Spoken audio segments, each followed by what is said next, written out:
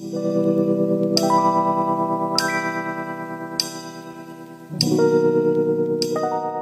going to have a meditation, like guided meditation.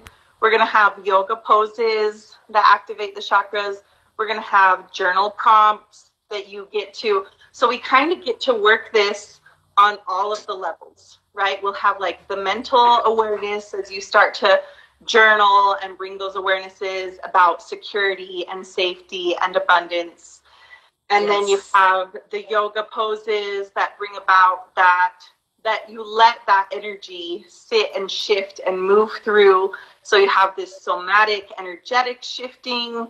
And then we have um, the meditations, which meditation. So when we talk about um, like vibrational frequencies, because we have like different brain waves that are activated, that's where we can activate the subconscious and the unconscious. We bring what's unconscious to the subconscious so that we can work it in the conscious and make those shifts.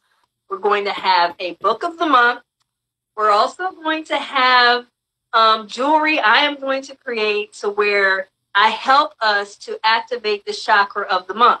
So every month, Fourth Chakra YOUniversity, we're going to have a chakra that we are going to um, focus on.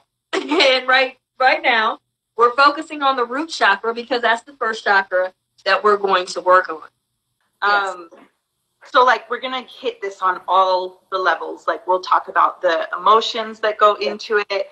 And then there's like gonna be the behavioral actions and education and motivation to move through. So like we've got this like on all different levels like from the inside out it's really it's gonna be like really cool and yeah. and as we move through each of the chakras like this is a full and complete we're gonna move through seven and yes. so like this is a full and complete like journey for the year for those yeah. of you that are joining us.